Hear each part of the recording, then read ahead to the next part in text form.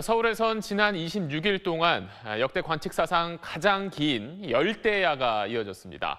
드디어 오늘 밤부터 주말까지는 열대야에서 잠시나마 벗어날 거란 예보가 나와 있는데 오늘 밤엔 에어컨 대신 창문 열고 잘 수 있을지 지금 바깥 날씨 알아보겠습니다.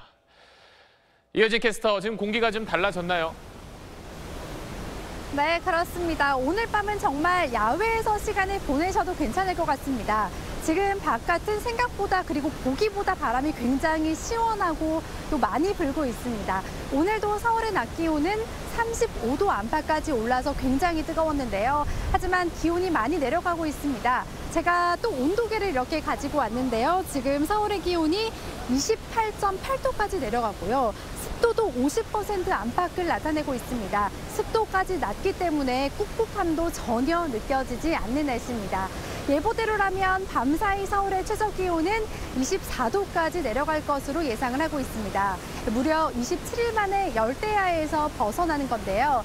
서울뿐 아니라 오늘 밤은 전국적으로 열대야는 없겠습니다. 앞으로 일요일까지 한 사흘 정도는 전국에서 열대야 걱정은 안 하셔도 괜찮겠습니다. 우리나라 상공에 찬 공기가 들어오기 때문입니다. 낮 기온도 조금씩 내려가겠는데요. 영동과 영남 지방은 폭염특보가 모두 해제가 됐고요. 서울의 폭염경보는 폭염주의보로 한 단계 내려갔습니다.